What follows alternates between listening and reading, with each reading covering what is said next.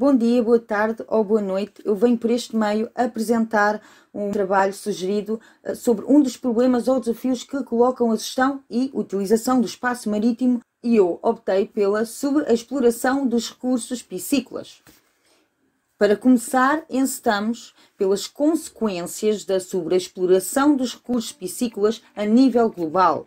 A sobrepesca ocorre quando um pescado é capturado em maior quantidade do que a população consegue repor através da reprodução natural, tendo graves consequências para o equilíbrio natural dos oceanos, assim como o bem-estar social e económico das sociedades costeiras que dependem do peixe para o seu modo de vida exploração dos recursos piscícolas estão associados ao desenvolvimento das frotas pesqueiras e das técnicas de pesca cada vez mais sofisticadas e agressivas levam a um excesso. Resulta também na diminuição drástica de alguns estoques e até põe em causa a vida de algumas espécies. Esta situação exige medidas de proteção e recuperação das espécies mais ameaçadas que orientam um modelo de sustentabilidade. É importante entendermos também quais as consequências da sua exploração dos recursos piscícolas a nível mundial, para que entendamos o porquê da necessidade de uma legislação regulamentada para este tipo de atividade e a sua importância. A sobreexploração dos oceanos coloca em risco a sustentabilidade do planeta. Como é que vamos conseguir dar de comer aos 10 milhões de pessoas que deverão habitar na Terra em 2050? Interroga a fonte Visão Verde.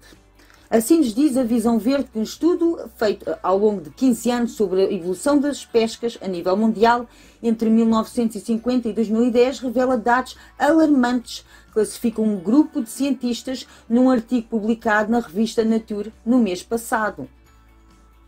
No documento da CIA Around Us, o mar à nossa volta, diz-nos que a captura de peixe tem vindo a decrescer à razão de 1,22 milhões de toneladas por ano desde 1996, o ano recorde no que toca às pescas.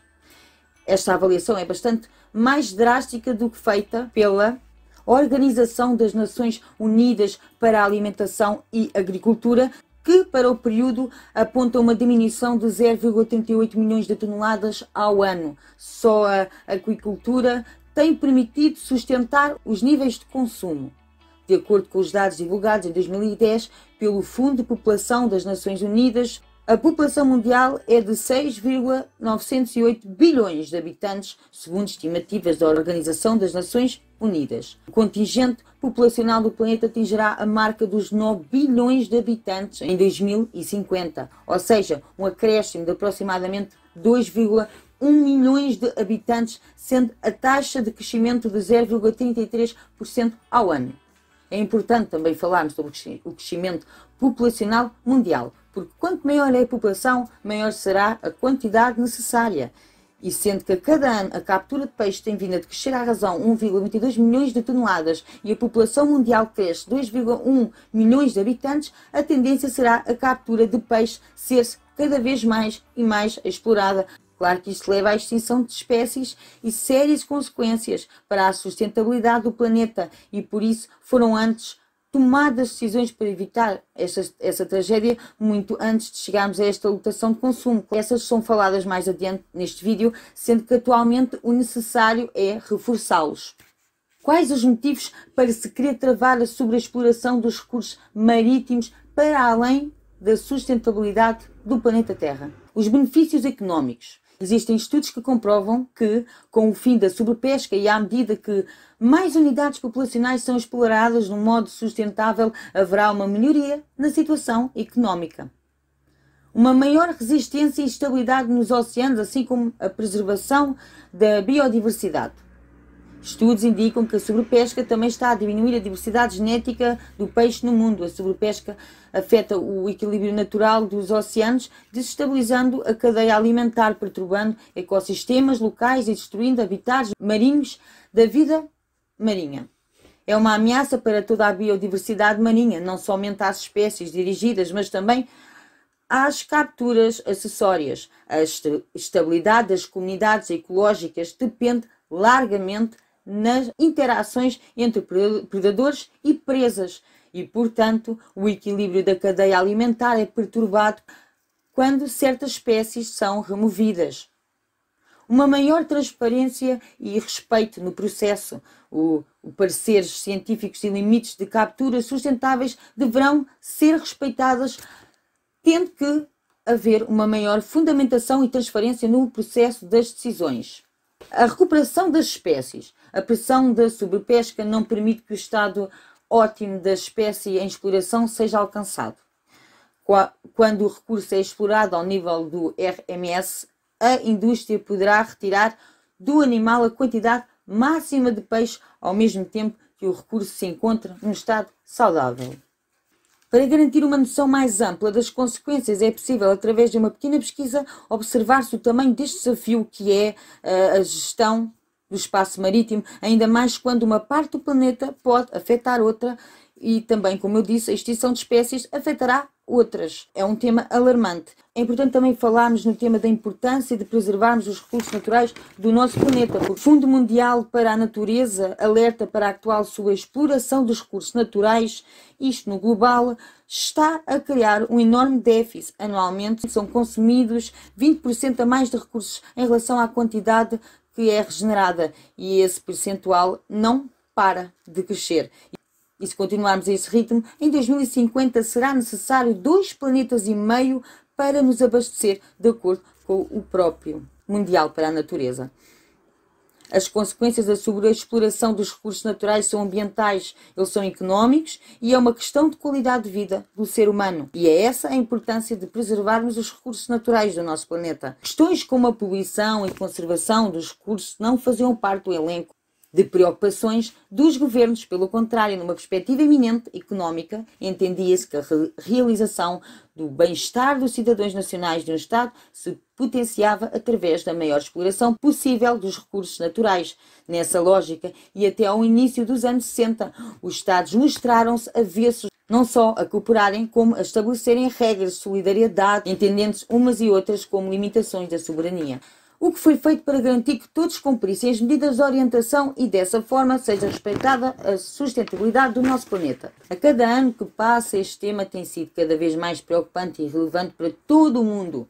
Afinal de contas, o que está em causa principalmente é a sustentabilidade do nosso planeta, o nosso único planeta. E por esse motivo temos as medidas do Decreto-Lei para garantir a sustentabilidade do planeta ao gerir, planejar, organizar e confiscar essas mesmas medidas. Ponto essa que será deixado na descrição do vídeo.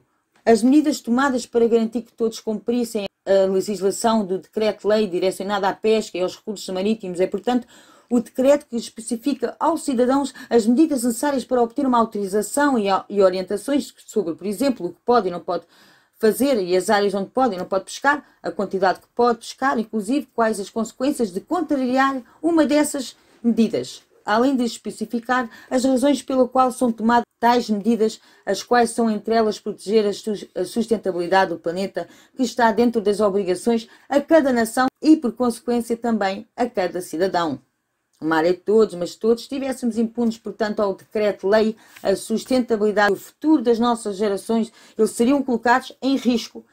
Por esse motivo, são tomadas medidas que foram construídas através de estudos específicos para calcular riscos e, entre outras medidas, para que possamos aplicar normas que consigam gerir e controlar os recursos marítimos, garantindo a sustentabilidade do planeta como principal foco. Portugal, que é onde a importância económica do mar tem um papel fundamental na economia do país e tem um forte componente social por ser um grande gerador de empregos. Os recursos marítimos mais importantes em Portugal são, entre eles, os recursos piscícolas e outras atividades relacionadas. Mas a sobreexploração dos recursos marítimos é um dos problemas mais afligidos e um dos principais motivos da imposição de cotas na pesca, sendo que a frota pesqueira portuguesa foi uma das mais afetadas na Europa. No entanto, este é um problema global, pois cerca de 70% das reservas mundiais já estão a ser capturadas no limite ou para além do limite minimamente sustentável. A única forma de fazer-se uma boa gestão é, para além de boas medidas do Decreto-Lei das Atividades Piscícolas, a fiscalização das águas nacionais e da ZIA. É a sua vigilância que vai garantir que sejam cumpridas a legislação e prevenir ou punir infrações feitas por navios portugueses e estrangeiros. O objetivo da fiscalização está em controlar descargas de poluentes, controlar a captura de espécies não permitidas, prevenir o esgotamento de recursos, garantir o respeito pelas cotas da pesca e entre outras. E também, para uma boa gestão, temos claro a política comum das pescas, para que esta nos traz medidas de resolução. A política comum das pescas foi criada em 1970 tem como objetivo assegurar o futuro da pesca, de acordo com o seu compromisso de garantir pesca e aquacultura responsável. Nela temos as áreas de intervenção de forma a agir em prol ao seu objetivo, desde monetizar o tamanho da frota pesqueira europeia e prevenir o seu crescimento, dar apoio técnico e financeiro a iniciativas que contribuam para a sustentabilidade do setor dotar as autoridades nacionais das ferramentas necessárias para aplicar regras e punir os infratores, estabelecer regras para garantir a sustentabilidade da pesca europeia e evitar danos para o ambiente marítimo. Negociar em nome dos países da União Europeia nas organizações internacionais da pesca e outros países em todo o mundo. Ajudar os setores da produção, da transformação e da distribuição a obter um preço justo para os seus produtos e garantir aos consumidores que podem ter confiança nos produtos de pesca que consomem. Apoiar o desenvolvimento de um setor de aquacultura dinâmica na União Europeia, como criação de peixes, crustáceos, moluscos e algas, e financiar a investigação científica e a recolha de dados científicos a fim de proporcionar uma base sólida para a tomada de decisões e para a elaboração de políticas que outras estratégias implantadas temos? Incentivar toda a população a utilizar produtos e tecnologias mais amigos do ambiente, o que é possível através da educação e da sensibilização da sociedade quanto a este tema, a persistência, claro, e o reforço da vigilância e a pesca sustentável. Também é importante referirmos que estratégias educativas como cuidar do ambiente também são extremamente importantes, já que a não poluição ou poluição das águas também contribui para a presença de espécies e a sua qualidade alimentícia. Este foi o meu trabalho, espero que tenha gostado e muito obrigada.